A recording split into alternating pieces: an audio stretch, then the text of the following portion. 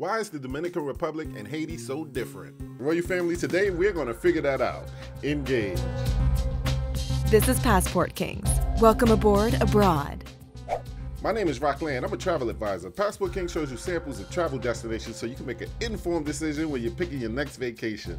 Hispaniola, an island that was home to the Taino people, was taken in two very different directions by the two European gangs that were sent to conquer them. DR is a top-rated tourist destination today, while Haiti continues to struggle and remains one of the world's poorest countries. Why is that? The two countries have incredibly different histories and cultural identities. The citizens of both sides of this island are a mix of natives to Hispaniola, European colonizers, and the people from Africa that the colonizers forced into slavery and brought to the island to do all the work that the Europeans were too lazy to do. Today, the two countries have very different political and economic systems as well as vastly different reputations on the world stage. When it comes to which side of Hispaniola is worth a visit, so what makes them different? Why are facts about these two countries so conflicting, sugar-coated, and hard to come by? In this video, I briefly examine a few key factors that led to their very different reputations. I am neither from Haiti or the Dominican Republic. I'm just a travel agent that gets asked this question all the time, so I figured I'd answer it in one video. Here are the answers I found through research, testimonies, and course referencing. Over 400 years ago, Spain invaded what we now call the Dominican Republic. Christopher Columbus was pretty much lost at sea when he landed up on Hispaniola. He was originally looking for a new route to India and China. This murderous bozo is also well known for thinking thinking that the people in America were actually Indians because he still thought he was in India. The Dominican Republic was colonized by Spain. In 1492, much like his visits to other countries, he decided that everyone who lived on this island was inferior to him and to the residents of Spain. With heartlessness and viciousness, he colonized the entire island, enslaving all of its Taino residents and destroying their history to a point that no one really remembers what Hispaniola was originally called. Spain also brought in the enslaved people from Africa to do all of the heavy lifting. Spain was nowhere near finished raping and pillaging all of the desirable resources when the south side of Hispaniola was colonized in 1659 by a much stronger invading force from France. Instead of completely decimating Christopher Columbus's army, the French Armada led by Napoleon's brother Charles Leclerc pushed Spain to the west side of the island, which is now known as Haiti to the east. After an almost impossible battle, Haiti won the war for independence on January 1st, 1804. The victory was so monumental that many people in the world actually consider magic magic in the form of voodoo as being the driving force to victory by the much poorer and less militarized slaves from the African and Taino coalition led by Toussaint. Louverture. But France was still tight. Realizing they couldn't defeat Haiti in combat, they pretty much sued Haiti for the profits being made on the island. Haiti has been paying France ever since, which pretty much brought state building and progress to a halt for over 200 years.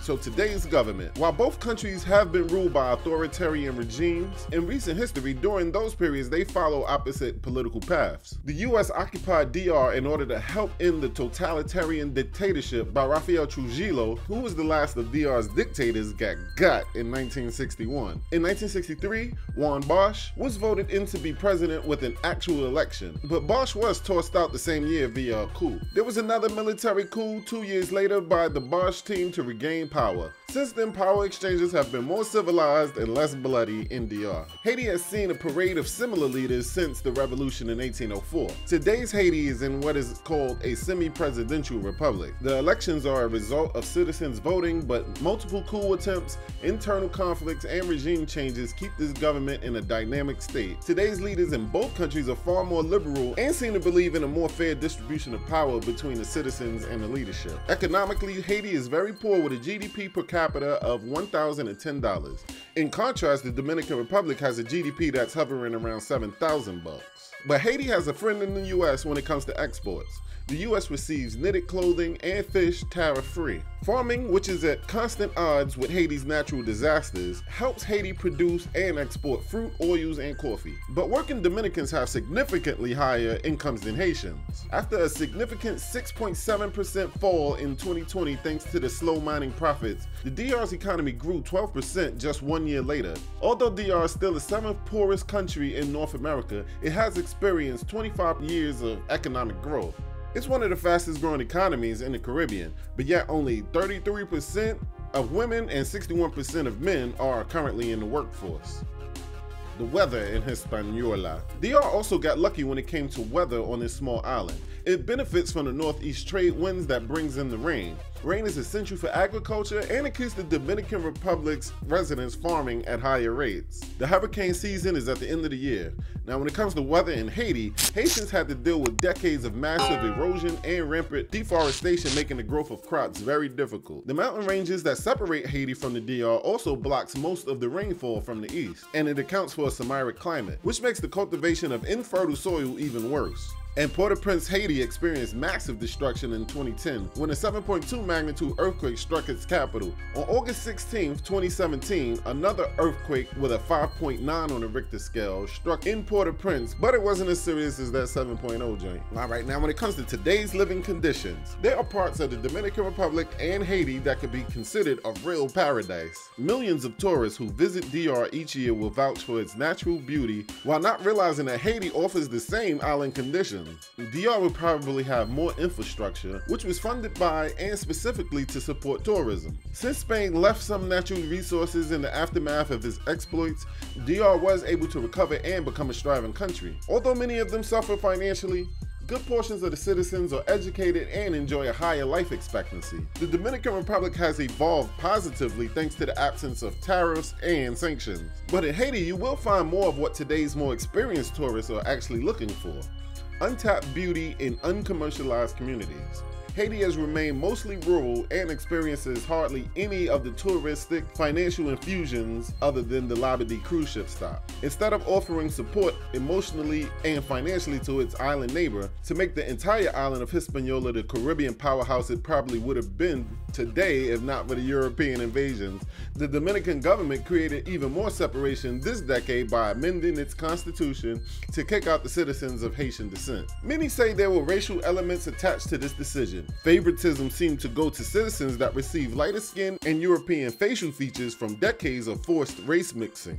Also, when Haitians were seeking refuge in DR after the earthquake, many Haitians and Dominicans pointed to skin color as a deciding factor on who could stay and who had to go back to the temporarily unlivable conditions.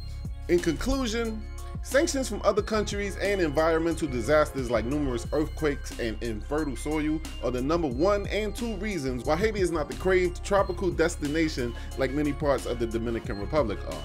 Of course, their history is more nuanced than what can be expressed in a video of this length. If you ask the residents of Haiti why they are behind the DR in economics, they will tell you the government. The current government hasn't done much to eliminate the historical setbacks that the country still feels from the colonial periods. Government corruption and the government's mishandling of money. It's been years since the last natural disaster in Haiti. Ignorant people will tell you that Haiti seems to never catch a break because of the color of most of its residents' skin. But this is ridiculous, mainly because racism itself is ridiculous. But also it's ridiculous because of how many Dominicans have the same dark skin color. I've heard a preacher on TV, the 700 Club guy, say once that Haiti was being punished by God for kicking out their French conquerors. I feel this notion is more ridiculous than racist. At the end of the day, both of these countries that make up Hispaniola are worth a visit. You can and probably will experience many positives and negatives no matter which side of Hispaniola you visit. Don't let international propaganda steer you away. One more thing, this video is talking about like conquerors and, and slavery and things like that, so it may be demonetized. So if you have a heart, make sure that you hit the super chat button at the bottom. That way I can still get paid for this video and still be able to uh, talk about the things that you guys really ask me about. Now, don't let international propaganda steer you away from exploring either of these beautiful nations. Go anyway like a king, a passport king.